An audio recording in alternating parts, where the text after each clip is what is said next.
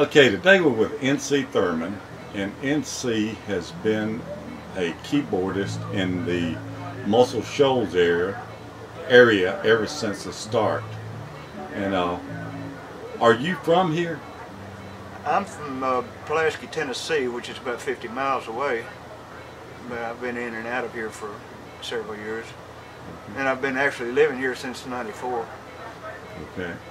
Uh, when did you start keyboard, playing piano? Early as I can remember. Really? Okay. Yeah. I, uh, I was banging on it back when I was three or four years old, and they used to make me play all the time. And one thing led to another, and then piano lessons and uh, high school bands and, and rock and roll. Which is where I am right now. What was your first band? Uh, it's a group uh, from Pulaski called the Belvederes. Uh, we played a lot of good songs. We had a, I mean, we weren't that good, but we had a real good lead, lead singer, and a guy named Wayne Hayes, Black Cat, man, that could sing Sam Cooke and uh, all that, those good old songs from James Brown. You know, we used to play all that stuff. You remember your first gig? My first gig, Paying gig. my first paying gig, I remember the first gig too. Uh, first paying gig was the Black American Legion in Pulaski, Tennessee for, I think we made $10 a piece. We showed up with our hats and our pipes. We were cool. and, but it was, uh, that was the first one. And And then there were many, many after that. Yeah, with the Belvederes, we hung on for a couple of years, and the Army kind of split us up and never really got back together. But we're still in touch, who are the ones of us that are still around. And how did you get, you get to the shows? the music. uh, the music kind of attracted me, but uh, all my friends living over here, Scott and Kelvin and uh, David, everybody, you know, it's just so many great musicians and writers over here. And uh, I moved over here in 94, I guess it was, and that's, uh, that's where I am, where I'm going to where I'm going to stay unless something something comes along to make me want to leave. Yeah.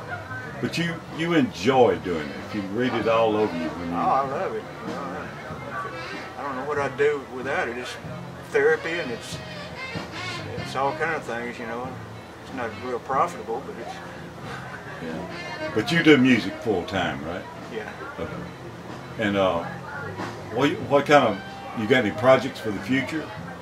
Well, I'm always writing. You know, it's just a matter of trying to complete songs. Is my problem. You know, I need uh, a co- I need all the help I can get. You know, co-writers. I've got a, f- a few little things, and uh, Scott Boyer and I've done quite a bit of writing together, and we we've got a new project out right now, a new uh, CD. Going to be. Uh, we got a lot of hopes for. You know. Uh, uh, you know, maybe an artist picking it up some of the songs or something. You know, get lucky on them. And we got it for sale out there on the CD, baby, and it's got a. We're hitting the Note magazine's covering it this month or this coming month. Uh. So, uh, uh, I don't know. At least you're honest about it, NC. Well, that's the only way I know to be about it. You know, I don't pipe dream about stuff anymore. yeah. How long you been coming to uh, Dick Cooper's party?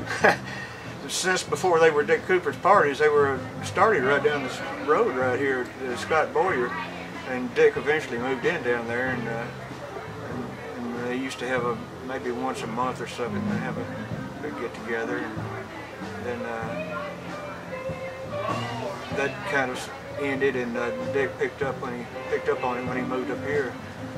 And so since uh, oh Lord, since '98, I guess, you know. Yeah. But this is a perfect party place. Oh yeah. The other place was nice too. You It know? was. But it's beautiful. It's a beautiful place to be. Have a party, play some music. Well, I Although appreciate they're dogging me about not bringing my keyboard today, but uh, You didn't. I didn't bring anything to play. I wasn't thinking about playing, but I, I guess that's one of the things you come to understand when you come to a Dave Cooper party that you, if you play, you better bring us something to play. And I guess I'll live it down one of these days. I sure appreciate it, NC. Thank you. You know.